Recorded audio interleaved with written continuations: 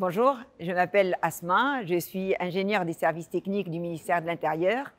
Je suis référente sécurité civile et je suis chef de projet immobilier au sein d'une grande direction du ministère.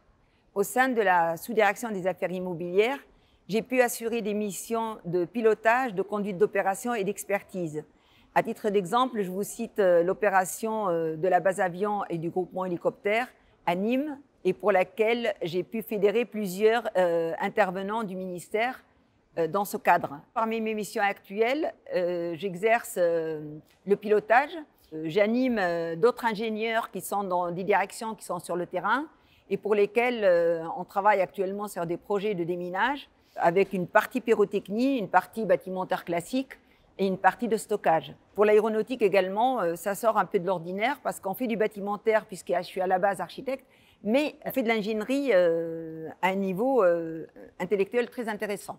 J'ai décidé de rejoindre le ministère de l'Intérieur après avoir exercé dans le privé une trentaine d'années par conviction. Je souhaitais participer à une œuvre commune et travailler pour l'intérêt général j'ai la possibilité d'évoluer et de faire plusieurs métiers au sein même d'une même maison et consacrer tout mon temps à, l'essence même du travail, celui de construire et d'exercer de l'ingénierie et de l'architecture. L'idéal pour nous, c'est d'avoir des, jeunes qui ont envie de travailler pour l'intérêt général et d'avoir des convictions pour le travail collectif. Ils peuvent euh, s'investir chez nous. Euh, il y a différents métiers, il y a les possibilités d'évolution de carrière.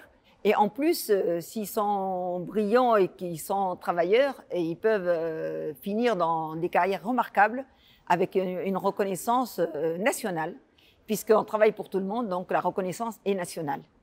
Et c'est un honneur de travailler pour la fonction publique, pour moi. Et donc j'espère que ça sera pour les jeunes aussi.